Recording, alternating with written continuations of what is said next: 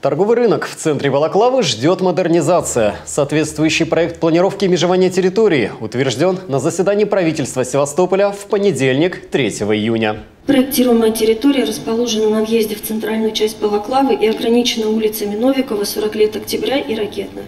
Площадь территории составляет 1,16 гектар. В настоящее время территория хаотично застроена в основном бесфундаментными строениями рынка, зданиями торгового общественно-бытового назначения. Также предусмотрено увеличение кармана остановки общественного транспорта с примыкающей открытой площадкой-накопителем, организация гостевых площадок вдоль транспортных осей, устройство дублирующего хозяйственного проезда с въездом на организованную парковку.